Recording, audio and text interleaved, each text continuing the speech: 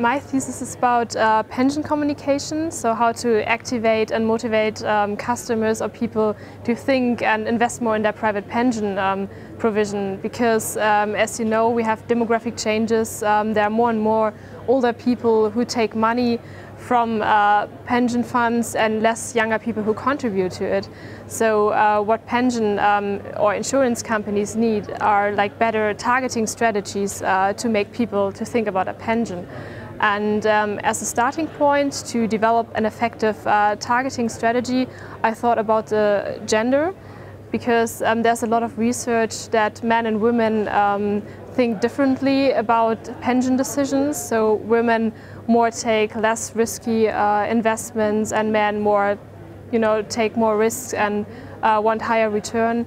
Uh, so I developed uh, insurance framings and investment framings because I said women are more or respond more to the things when they know it's, it's sure, it's stable and guaranteed, and men more want to take the reins and uh, you know invest and take a high profit from it. And it was very interesting to see differences actually in, uh, in the results of my questionnaire.